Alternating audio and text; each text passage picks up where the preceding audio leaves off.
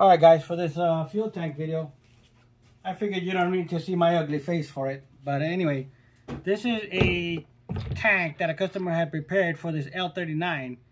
Uh, and you can see on the L39 tank, the inlet is at the top.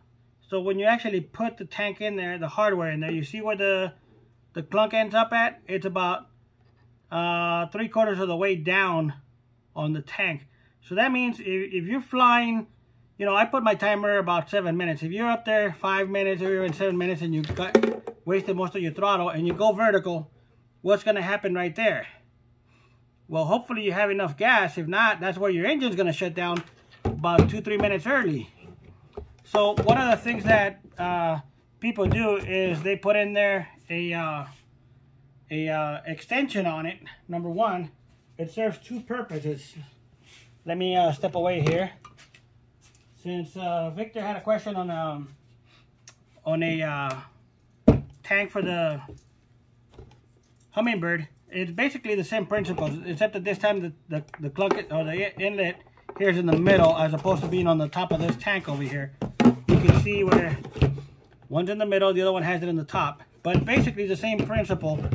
You want a hard line in there so it, when you're when you're coming down from a loop or whatever, the the line doesn't have a chance to kink around and go backwards. Uh, one of the ways to do that is to insert a piece of brass in the middle, and this makes just makes the the hardware you already have in there. You can just reuse the same one uh, by making the extension in there. Then the the hardware doesn't have a chance to flip around because the, the, the hard line inside it's inside. So yeah, you would just go back in there and do your uh, um, safety wire.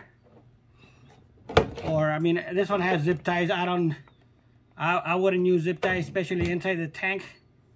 Um, and then uh, go ahead and you know build the rest of the tank however you know with to your specifications to your likings whether you want to put a barb in here and some in here or not then that's up to you. But now with this hardware on it you would see that the line would not be able to bend backwards but now it goes all the way to the back of the tank.